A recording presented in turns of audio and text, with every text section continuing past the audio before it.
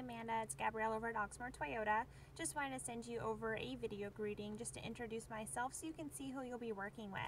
I received your request for one of our pre-owned Corollas and I saw that you were interested in a test drive for a $35 gift card. I have all the information for you, so when you get this, just give me a call. My phone number is 502-214-7142.